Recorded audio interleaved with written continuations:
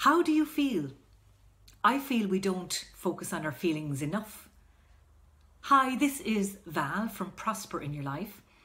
And in order to find that dream job, that dream relationship, that dream home, I think it's very important to focus on how you feel. And this can really, really help to get right into what feeling it creates for you.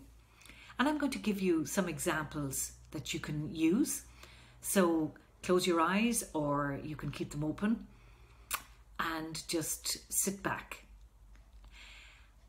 It feels exciting.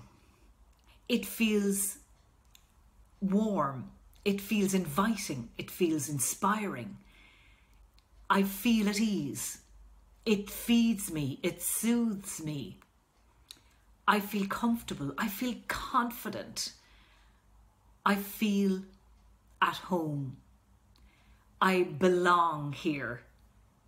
All these words can really, really help to get into that feeling rather than thinking, we're more feeling in our hearts and our souls and our stomachs what that dream will look like.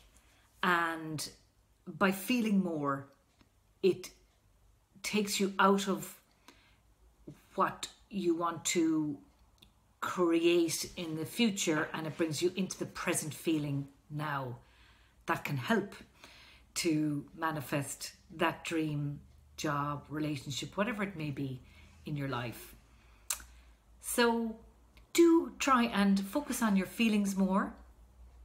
And if you want, use these words, use other words that resonate with you. And have a great day. Live, laugh, and love. Bye.